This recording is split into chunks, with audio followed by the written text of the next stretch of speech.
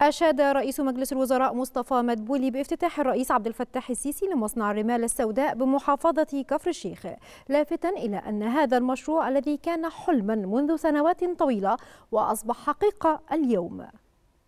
وخلال اجتماع مجلس الوزراء أكد مدبولي أنه بهذا الافتتاح تكون مصر نفذت الجزء الأصعب في هذا المجال الواعد ومن ثم ندعو مؤسسات القطاع الخاص للشراكة.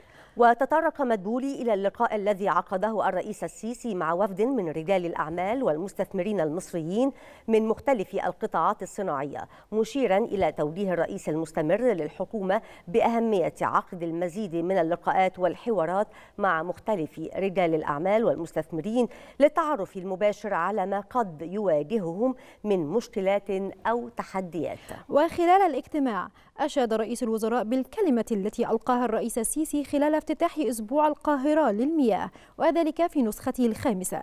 كما نوه رئيس الوزراء إلى أن الرئيس السيسي وجه الدعوة خلال كلمته للمشاركة في فعاليات القمة العالمية للمناخ كوب 27 وأشار مدبولي إلى انطلاق فعاليات المؤتمر الاقتصادي مصر 2022 الأحد المقبل.